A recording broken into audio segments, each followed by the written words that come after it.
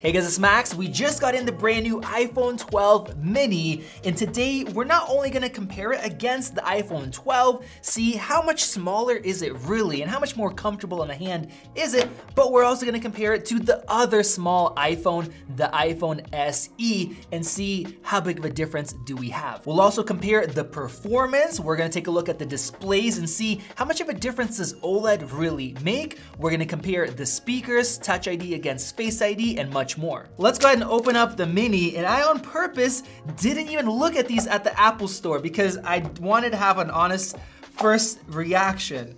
Okay, let's get this thing out. I'm gonna peel this off right away. Okay, wow, okay, so it's heavier than I thought. I thought it'd be a bigger difference. I didn't look up the specs side by side, but this thing is so mini. when you put it up next to the 12, that's when you really notice it. It's really weird that size-wise, it seems like a toy. It is so small, but the feel in the hand and the weight makes it feel really premium. And honestly, holding in my hands right now, the 12 mini feels heavier than the 12. Now, I know that's not true, at least I'm guessing so. I'll have Angelica put up the weights right here, but it's just because it's so compact and there's so much crammed into such a small device, it feels a lot more dense. Now, before I compare all of the exterior differences with the 12 and SE, let's talk about chargers. Obviously, you guys probably know the new phones don't come with chargers, but in fact, the iPhone SE no longer comes with a 5 watt brick either, so you're gonna have to buy a charger if you don't already have one. Now, Apple would be happy to sell you theirs for $19, but we would suggest Anker's because look how much smaller this thing is and it puts out the same 20 watts. Now, Anker's not a channel sponsor yet, but I would still suggest this because it's not only is it cheaper, but with that, if you're gonna be charging your phone with MagSafe, it actually charges faster. We actually did an ultimate charger comparison that you guys should check out after this video. Now that we're mentioning MagSafe, I do wanna say that the 12 mini does not accept the full 15 watt peak charging. It actually is limited to 12 watts. Now, this is where it gets a little bit interesting. The 12 will accept the peak 15 watts, but not for very long. Not a lot of people talk about this. It actually goes down to 6 watts after it starts heating up a little bit. So what I'm really interested to find out is if the 12 mini will go even lower than that, and that is something that we're gonna cover in our review of the 12 mini. We'll make sure you get that info to you guys, so make sure you guys hit that subscribe button and help us get to 500,000 subscribers before 2021. Now I have to say that even though I was majorly disappointed in MagSafe in my Ultimate Charger test, I'm still enjoying using it. There's something very satisfying about it clicking on like that, and then you hear that little chime come up, and you can use it like this. It, as long as you don't need fast charging, it is nice. And on top of that, last few days I've been testing out the MagSafe wallet with my iPhone 12 Pro, and I've liked it a lot more than I thought I would based on different videos. So let's go ahead and put it on. Look at that, it fits perfectly. It's like it was made for the iPhone 12 mini. Wow, okay, gripping this thing in the hand, that feels incredible. It felt good on my iPhone 12 Pro. It kind of filled in the way your hand holds, but it feels amazing here.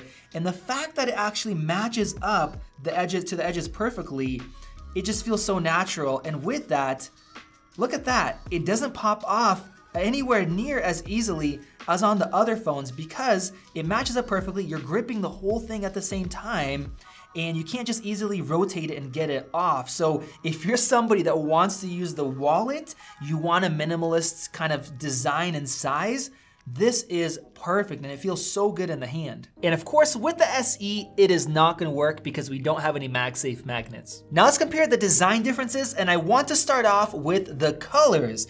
Obviously, this blue pops like crazy, and I'm not typically a fan of blue, but I love this one. And unfortunately, I have to say, for the 12 mini, I have the product red. I am not really a fan. If we put it side by side with the SE, which is also product red, you guys will see how less rich of a red this is. Some people call it salmon.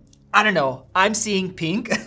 I like the deep, darker red of the product red model. If we take a look at the, the frame here, it is lighter. It still looks like red on the Mini, at least on the sides, but man, I really wish they stuck with this color. I also have to say that I love the new camera bump. They're etching into this glass. It makes it look very premium, way better than the old school way of just having a little lens with a little ring around it. Now it's interesting that the camera bumps are the same between the 12 and 12 mini. Everything's identical, but the Apple logo is actually smaller. Let's go ahead and stack these up next to each other. And this is probably the biggest difference I've seen so far. Usually phones are fairly similar, the 12 is taller, but also quite a bit wider. The difference is pretty substantial. So what does that mean for comfort in the hand? Well, the 12 feels comfortable. You have a really nice grip because of the flat edges. Let's try out the 12 mini. And it definitely feels smaller in the hand, but comfort-wise, it's not as big of a difference as I expected. That's very interesting. Let's grab the SE. All right, the SE is more comfortable, honestly. Because of these rounded edges, it, it just feels a little bit softer against your palm. And it's weird, it feels quite a bit thinner because of the rounded edges as well. It, it, technically it's 7.3 millimeters compared to 7.4, but it feels quite a bit thinner. Let's go ahead and stack these two up next to each other. And wow, so the SE, even though it's really small, it's still taller and wider than the new Mini. So that's very weird to see. I wasn't expecting to have as big of a difference. And putting him in the hand, you honestly can't feel as much of a difference as you see visually. And as far as the frame and the buttons, the 12 minis and the 12's button is much larger and it's really clicky. It feels really nice, whereas the SE has this really small one. It's not mushy, but it's definitely not as nice feeling. And then on the opposite side, of course, we have the volume buttons that are slightly larger. Our SIM tray actually moved as well.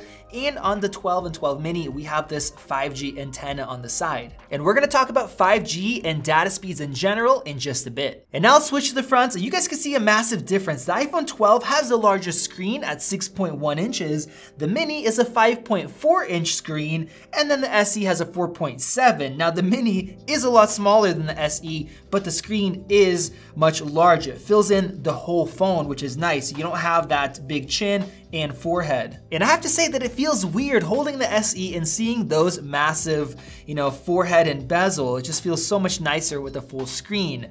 Now with that, we have a difference in design. All the new iPhones have a straight flat edge, so the screen is completely flat and then it meets the frame. Whereas the SE, it curves over the side and we have a little plastic insert that you probably can't see, but you feel the difference between the glass, the plastic, and then the metal frame. And the new designs definitely feel more premium. Of course, with the Mini, we have this notch cutting into the display. That's because we have Face ID there. And let's go ahead and do a quick test. Face ID versus Touch ID. We just press down, pretty quick. You can actually do it all in one step just by pressing down and you're there. Whereas with Face ID, you either have to raise it and then it's gonna turn on the screen and then swipe up, or you can tap on the screen and swipe up. And as far as speed, I mean, they're both very quick. Uh, it's hard to tell a difference, and for convenience, I love Face ID in times where you don't have a mask. You, if you're wearing gloves, it still works, whereas if you're wearing a mask, Touch ID is definitely nice. Now you might think that the Face ID sensors are smaller because everything's smaller, and that's actually not true. If we put them side by side like this, the whole notch is identical in size, but because the screen is smaller, all of the icons have to be cramped in there, and they're quite a bit smaller as well. Now, one thing that almost nobody knows about is that the bezel on the 12 mini is actually the thinnest bezel out of all of the new iPhones, the Pros, the Pro Max. They were able to slim it down just a little bit. And now let's compare the display panels themselves, the brightness, the quality. The 12 mini is identical to the 12 Pro other than size, so I'm gonna scoot this over, and we're gonna compare LCD versus OLED. I'm surprised that I can actually tell a difference in terms of clarity or sharpness. The icons and the text look more crisp on the 12 mini than the SE, which still has a retina display. That's because the 12 mini actually has the most detailed screen in terms of pixels per inch out of any of the iPhones phones. Now the next thing I wanna take a look at is the shift in brightness. We have LCD versus OLED, and if we look from the side, the SE gets much darker if we're not watching perfectly uh, just facing us, whereas the OLED screen doesn't have any issues. And the good thing is the new 12s, they have the best OLED screens that don't turn blue from the side. And now let's compare the brightness. Both are set to manual brightness. Okay, very interesting. The new one does look brighter, but not by that much. And that's because the 12 and the 12 mini, their displays, their OLED displays are limited to 650 nits, which is similar to a really good LCD display like the one we have in the SE. The Pro models, those can actually get brighter.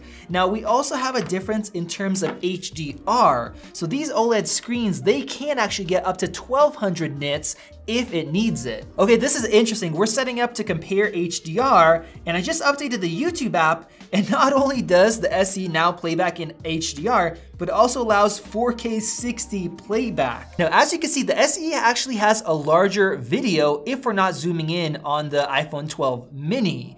Now, right away, I see a massive difference. The iPhone 12 mini looks like HDR. We have nice contrast. It actually is sharper, even though the video streaming is the same, uh, and the brights just pop so much. Not only that, uh, but in the darker scenes, we have a lot of contrast. Blacks are pure black because of the OLED screen instead of kind of gray. Uh, and man, even the colors, they're a little bit more saturated. They pop a little bit more. The 12 mini gives you an HDR viewing experience. Now, if we want to flip up the whole screen, you are going to cut out a part of your image. So some of the parts get cut out. That does give you a little bit more of an immersive experience without the huge chin and forehead.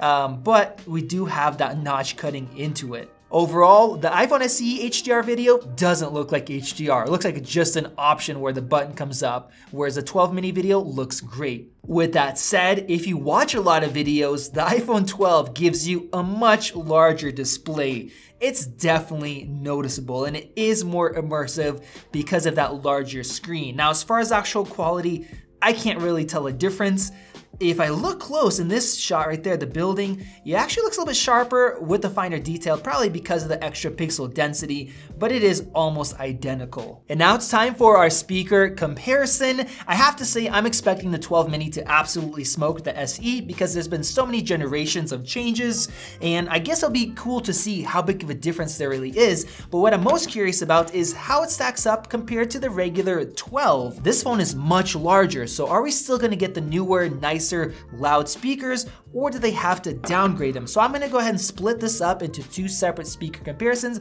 so we can tell the actual difference. Go ahead and put on your pair, best pair of headphones or the only pair of headphones you have, and let's take a listen.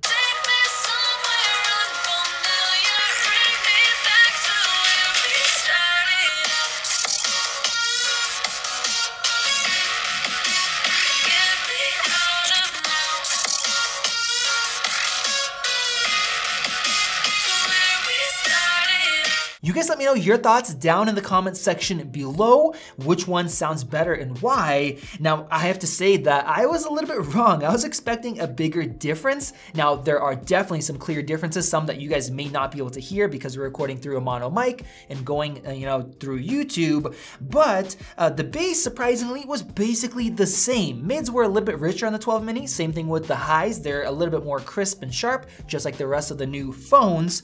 Now, where I noticed the biggest difference difference was the stereo sound. Listening to the SE, a lot of the sound, majority is coming from the bottom speaker, and the earpiece speakers filling it in a little bit, whereas the 12 mini sounds perfectly balanced, much more immersive.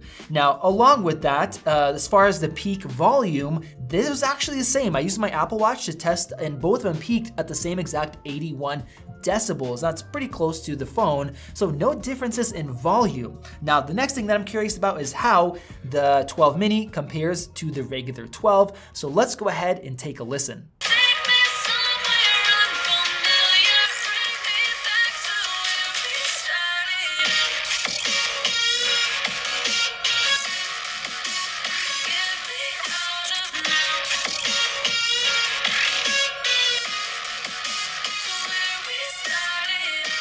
Once again, let me know your thoughts down in the comment section.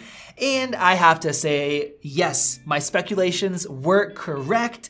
The regular 12 is louder than the 12 mini, and it definitely sounds better. The 12 mini, it doesn't sound bad. It sounds nice and balanced, but the mids and the bass in the 12, my goodness, it is a big jump, much deeper, much richer. The high frequencies are basically the same, and then we do get a little bit more loudness as well. So with the larger phone, you do get better speakers. And if you watch a lot of movies without headphones, it's gonna help. And now let's get into performance, starting off with data speeds. As you may know, Apple is really pushing 5G on all of the new iPhones, and I have to say, it actually does matter, even if you don't have 5G in your city. Now, what's very unique about this year is that for the first time ever, all of the iPhones, the 12, the 12 Pro, the Pro Max, and the Mini, have the same exact antennas. With the iPhone SE, you actually had a worse antenna and modem than the iPhone 11 Pros. The SE actually has 2x2 antennas instead of 4x4, so you would take a hit in speeds and reception. Now, with the newer phones, we actually did a bunch of testing already. Here's some shots from our previous test, and the new 12s are so much faster as far as internet speeds, even if you don't have 5G in your city. The standard LTE is much faster. That is also because we're using Snapdragon modems now, and even the 12 mini, the cheapest one, has the very best X55 Snapdragon modem. And if you look at some other Android phones, for the cheaper, smaller phones, you'll get worse quality reception and speeds. In the last few weeks, I've seen a massive difference both in terms of speeds and reception, and that's comparing uh, 12 Pro against my 11 Pro Max, which has even better antennas than the SE. So if you guys wanna see a real world comparison, go and check the video that I made. That also includes tethering if you use that. And now let's compare the processor and graphics performance. I have Geekbench 5 opened up here, and we're gonna go ahead and run the CPU test. One thing you'll notice is that we do have a difference in RAM. The iPhone SE has 3 gigs of RAM, just like the previous iPhone 11, whereas the 12 mini and the 12, they have 4 gigs of RAM, like the older 11 Pros. So how much of a difference does that make in the real world?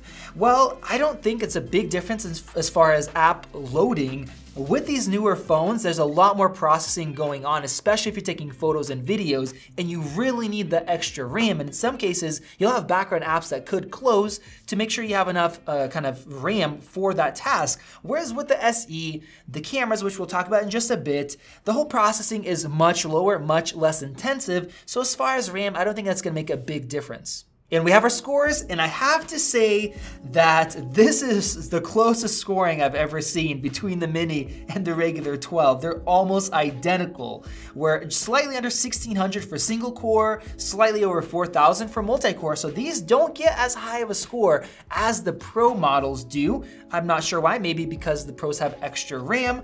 And with the SE, it is still a shockingly good score. So the difference is about 20%, both in single core and in multi-core. And I also have to say that for 400 bucks, man, you're getting some killer performance. This thing's gonna beat out all the Android phones on the market, even like the $1,400 ones. And now let's go ahead and take a look at graphics performance. I'm gonna run Geekbench's metal test. And here are the scores it looks like the Mini actually has the best score, which was surprising. I thought maybe because of thermals it'd be lower, uh, but they are pretty close to the regular 12. And the SE, that is once again a really excellent score. So we're seeing that the Mini's close to 30% better graphics performance in terms of metal, and uh, the SE with I the latest iOS 14, it actually jumped up by quite a bit in terms of performance. Now another difference that you're not seeing here is the new neural core, the neural engine engine with the new A14 Bionic. That has a massive improvement. And in yesterday's video, we actually did a video editing test, including some Dolby Vision footage, and that actually showed a really good result uh, between the A13 and the A14 processor. So make sure you guys go and check out that comparison if you haven't seen that yet. And now let's talk about the biggest concern about the 12 mini, and that is the battery life. First off, let's compare the milliamp hours of the batteries. We have about 1800 on the SE, about 2200 on the 12 mini, so 400 more, and then stepping up to the regular 12, 2800, so 600 milliamp hours more. Now, obviously, we haven't been able to test these just yet. We'll talk about battery life in our iPhone 12 mini review, but I did watch a couple great comparisons, one from Mr. Who's the Boss, the other one from the Tech Chap, and the iPhone SE will get you about four hours of screen on time, maybe maybe five if you don't use it as hard, whereas the 12 mini, it looks to have about an hour to an hour and a half better screen on time than the SE, and then the same thing goes when you upgrade to the iPhone 12. That one looks to have about an hour, hour and a half more than the 12 mini. So if you're a power user, I definitely would not buy the iPhone SE. The battery is its weakest point. The 12 mini isn't great, but it's not bad, surprisingly, especially if you don't do a lot of gaming and heavy tasks, whereas iPhone 12, that's clearly the winner. Jumping into cameras, the 12 and the 12 mini thankfully have the same exact camera, so you don't miss out on anything, which is really awesome. And then comparing to the SE, well, obviously this one just has one camera. You're missing out on the ultra wide. So here's a comparison shot of the extra width that you can get now, as far as the standard wide camera, we also have some massive differences. The 12 photos look great, we have night mode, we have smart HDR3, deep fusion, whereas the iPhone SE, it has a camera from the iPhone 8. The software has been improved a little bit, but to be honest, if you care about photo quality, you definitely should be buying the 12 mini. And as far as portrait shots, both of them can do it with the rear cameras, but the SE cannot take it of regular objects, just of people. Now the really weird thing is that with the front facing cameras, the iPhone SE can also take portrait mode shots. You guys see the comparison right over here. Now, of course you can expect that with the 12 mini because it does have all those extra Face ID sensors, but the SE doesn't. And on other devices like the iPads, Apple won't let you take portrait mode shots without having the Face ID sensor, so that's very weird. Both of these phones have 12 megapixel front facing cameras, so here's a sample. You guys let me know which one looks better as far as the video quality and which one sounds better in terms of microphones.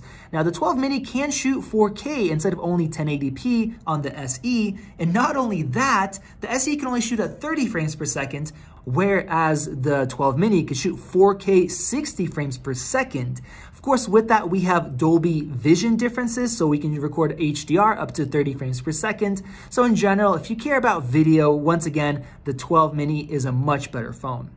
And now let's talk about the prices and then our final verdict.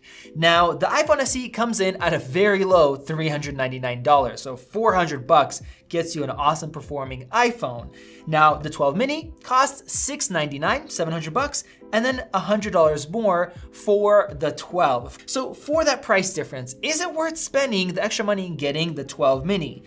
Personally, I think for most of you guys that are watching this video, it is. You're getting a lot better camera performance, massively better camera performance, and you're getting that OLED display, which looks so much better when watching videos. It's full screen.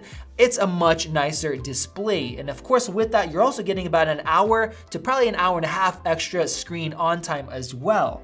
If you're somebody that's upgrading from a really old phone and you don't really care about phones that much, you just want something that's gonna last for the next five years, the SE is gonna do a good job. But now that we have the 12 mini, for those of you guys that want a small phone, I would go for that. Now, how does it compare to the regular 12? Well, as I mentioned in the beginning, as far as comfort in the hand, it's not that big of a difference, not like I expected, and you are taking a trade-off both in battery life, probably about an hour and a half, maybe even closer to two hours depending on what you do, and the speaker quality, and then the nice larger screen, which is a lot more immersive for watching video. The last thing I wanna add is gaming. If you are a gamer, I would absolutely deal with the extra size because when you're playing games, the regular 12 is so much more immersive with that screen. In fact, I enjoy the Pro Max for that larger screen when you're gaming. And I feel like with the 12 mini's tiny screen, you're gonna cover up so much of the UI with your thumbs. It's just not gonna be anywhere near as nice. So I would spend the extra $100 for those of you guys that are really into media. Let me know your thoughts down in the comment section below. How badly do you want a tiny phone? Are you gonna take the extra trade-offs or are you just gonna go with the 12? And if you really want the SE, let me know why. Make sure you guys click that circle above if you guys wanna see our full review of the Mini where we're gonna investigate the charging performance with MagSafe amongst a lot of other things. And of course, you can help us reach 500,000 subs before the end of this year. Click one of those videos over there if you wanna see our ultimate charger test or our 5G test. This has been Max and I will see you in the next video.